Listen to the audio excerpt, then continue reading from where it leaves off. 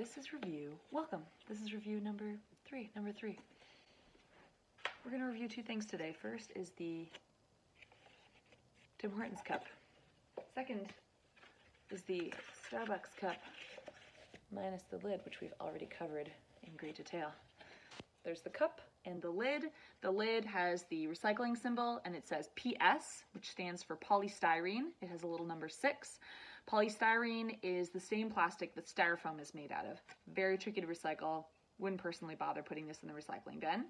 The cup itself, paper on the outside, super thin layer of plastic on the inside, also very tricky to recycle. I'd say less than 1% of cups in Canada are recycled. Starbucks cup, very similar. They have a sleeve, single wall cup, paper. This one is 10% recycled material and then a thin layer of plastic on the inside. The sleeve is made out of 85% recycled material.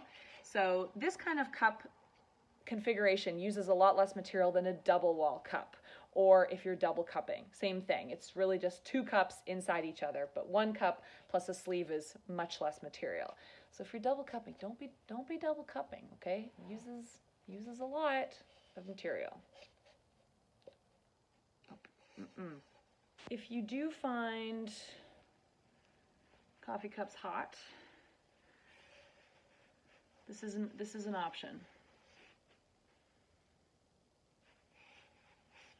The old oven mitt.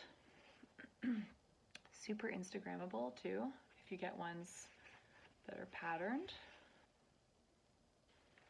Then you don't need a double cup or even a sleeve.